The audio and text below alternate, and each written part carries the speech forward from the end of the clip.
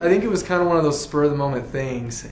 As his holiday office Christmas party wound down and Ryan Roach headed for the door with his wife and kids, They bust out some eggnog. for a chugging contest. One of his colleagues called him out to compete. I've already decided that if I'm going to do it, I'm going to win.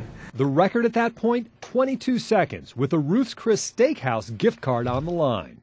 Chug, chug, chug, chug, chug, Pretty much poured it down.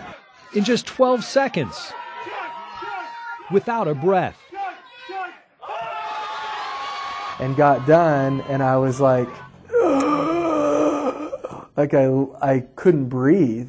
Roach coughed a lot, but thought he would be okay. A couple of hours later, I was pretty much shaking uncontrollably.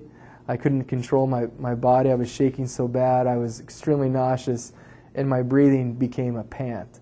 It's more like, a friend in med school checked on him and took him to the hospital. He had aspirated the eggnog into his lungs and was essentially dry drowning. they pretty much had to wheelchair me in, um, double IV and uh, oxygen, and uh, hooked me up to what they called the, uh, the nuclear weapon of antibiotics. The liquid in his lungs was starting an infection. It was rough. He spent 24 hours in intensive care with a fever, sweats, and chills. Eggnog, not ideal for the lungs. Doctors took him off oxygen and he went home. Roach did win, but at quite a price. Not only did I get a Ruth's Chris gift card, but I got a three night stay in the hospital.